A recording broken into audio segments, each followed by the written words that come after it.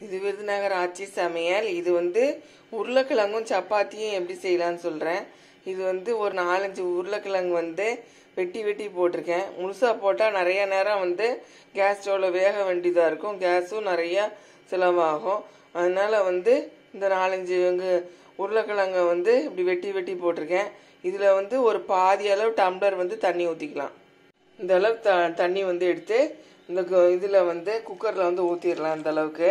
இதெல்லாம் ஊற்றிட்டு கேஸ் ஸ்டவ்வில் வச்சிடலாம் இப்போ வந்து குக்கரில் வந்து ஆவி வந்துருச்சு. இப்போ வெயிட்டு போட்டு ஒரே மீடியம் ஃப்ளேமில் வச்சுருக்கோம் நம்ம வந்து. மீடியம் ஃப்ளேமில் வந்து இந்த மாதிரி ஒரே ஒரு விசில் வந்தோடனே ஆஃப் பண்ணிடலாம் வெயிட்டு வச்சோடனே இப்படி தூக்கி தூக்கி பார்க்கணும். பார்த்தோன்னே உசு உசுன்னு சத்தம் வரும். அந்த நம்ம வெயிட் வச்சு சரியானதுன்னு அர்த்தம். வந்து விசில் வந்துருச்சு. ஒரு விசில் வந்தோடனே ஆஃப் பண்ணிடலாம் இந்த அளவுக்கு வந்து இந்த இந்த கப் அளவுக்கு மூணு கப்பு வந்து கோதுமை மாவு எடுத்துக்கிட்டேன் இந்த அளவுக்கு வந்து உப்பு வந்து ஒரு ஒரு ஒரு இது கப்புக்கு இந்த அளவுக்கு உப்பு போடுறேன். இப்போ வந்து ஆட்டா நீ நீட்டிங்னு இருக்கு. ஆட்டா நீட்டிங்னு இந்த இதை அமுக்கிக்கிடணும். இதை அமுக்கிக்கிடணும். இதை வந்து இப்படி வச்சுட்டு நான் ஆட்டா நீட்டிங்கிறத அமுக்கிடணும்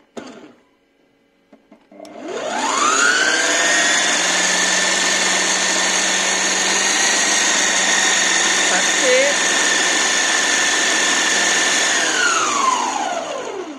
ஃபஸ்ட்டு உப்பு மட்டும் போ உப்பு போட்டதுனால உப்பும் மாவும் கலக்கணும்னு சொல்லி ஃபஸ்ட்டு ஒரு தடவை ஒரு சுற்று சுற்றியாச்சு இப்போ தண்ணியை ஊற்றி சுற்றணும் சுற்ற வைக்கணும்.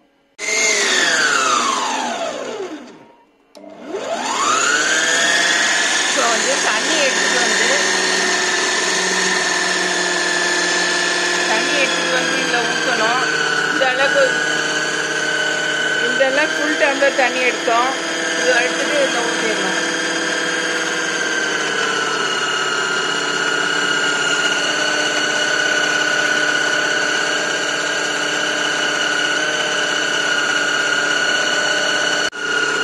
இப்போ வந்து இந்த டம்ளர் அளவுக்கு இது பாதி அளவு தண்ணி எடுத்துருக்கோம். அது கால் கால் அளவு. இதை எடுத்து ஊற்றிடலாம்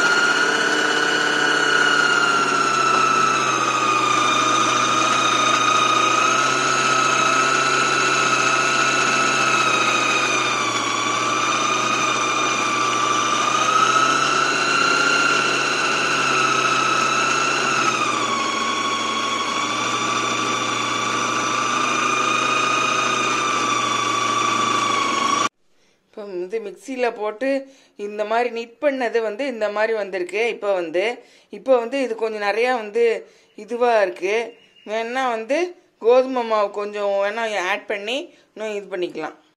இந்த மாதிரி இந்த மா மாவெல்லாம் போட்டாச்சு. மாவை வந்து இப்போ வந்து நல்லா வந்து பிசைஞ்சு இப்படி விட்டுரு. லேசாக வந்து ஒரு ஒரு ஒரு தடவை வந்து இது கொஞ்சம் ஒரு மாதிரி லூஸாக இருக்குது ரொம்ப லூஸாக இருக்கிறதுனால இப்படி பனைஞ்சு விட்டுக்கலாம். இப்போ வந்து இப்போ வந்து உருண்டை உருண்டையாக எடுத்து ஊட்டிக்கலாம். இப்போ வந்து ஒவ்வொன்றையும் ஒரு ஒரு உருண்டையாக பெரிய பெரிய உருண்டையாக இந்த இந்த அளவுக்கு வந்து ஒரு ஒரு உருண்டையாக எடுத்து உருட்டிக்கலாம் இப்படி ஒவ்வொன்றா வந்து உருண்டை உருண்டையாக எடுத்து இப்படி எடுத்து இப்படி எடுத்து இப்படி வச்சு இப்படி பண்ணிக்கலாம்.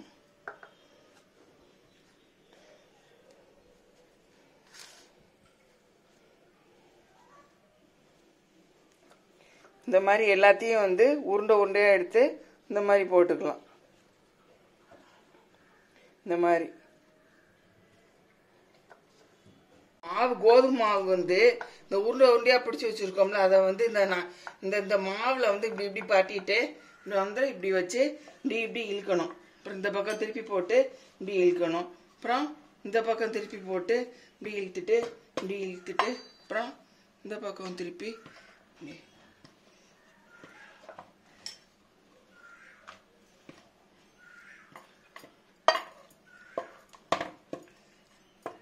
அவ்வளோதான்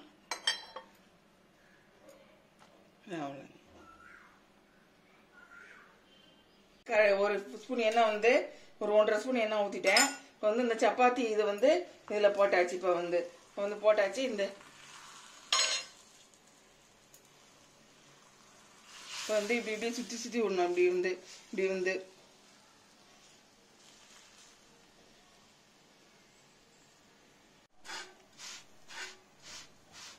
இப்போ வந்து திருப்பி வந்து விட்டு இந்த ஸ்பூன் வந்து இன்னும் ஒரு ஒரு ஒன்றரை ஸ்பூன் கண்டுக்கு எண்ணெய் ஊற்றிடணும் ஊற்றிட்டு இப்படி திருப்பி விட்டுறணும் அப்படி திருப்பி விட்டுட்டு இந்த பக்கமாக வந்து ஊற்றிக்கி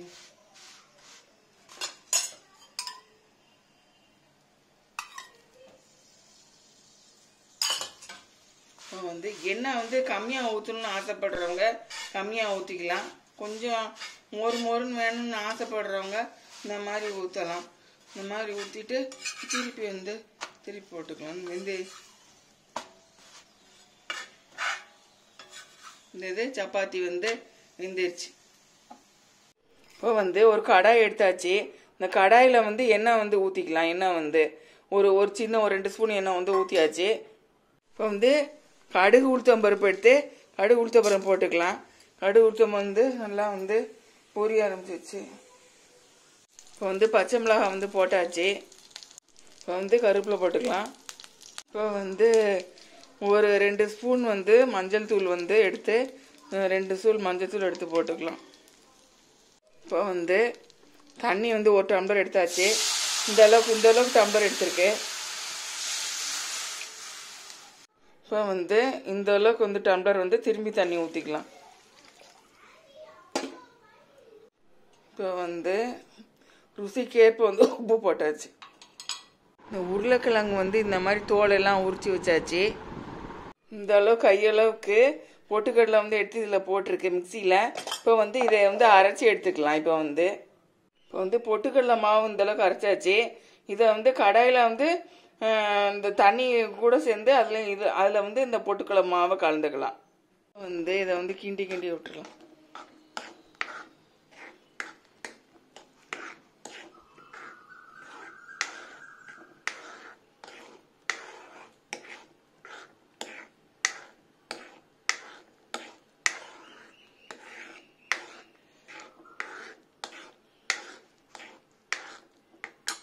இப்போ வந்து உருளைக்கிழங்கு வந்து இந்தளவுக்கு வந்து நல்லா ஸ்மாஷ் பண்ணி நல்லா நசுக்கி வச்சாச்சு.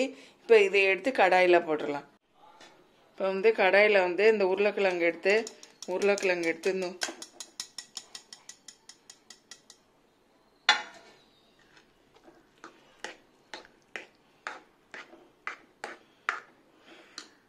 இது சப்பாத்தி சமைச்சாச்சு. அது வந்து உருளைக்கிழங்கு சட்னி வச்சாச்சு. இப்போ வந்து இதை வந்து எல்லாருமே சாப்பிட்லாம். என் வயசானவங்களுக்கு எண்ணெய் வந்து ஊற்றாமல் சாப்பிட்லாம் எண்ணெய் ஒழுங்காக வந்து போடாமல் சாப்பிட்லாம். சின்ன வயசுக்காரங்களுக்கு நிறைய எண்ணெயை ஊற்றி ச சமைச்சு சாப்பிட்லாம். இது விதுநாக ஆட்சி சமையல். இது வந்து சப்ஸ்கிரைப் பண்ணுங்கள் லைக்ஸ் கொடுங்க ஷேர் கொடுங்க. நன்றி.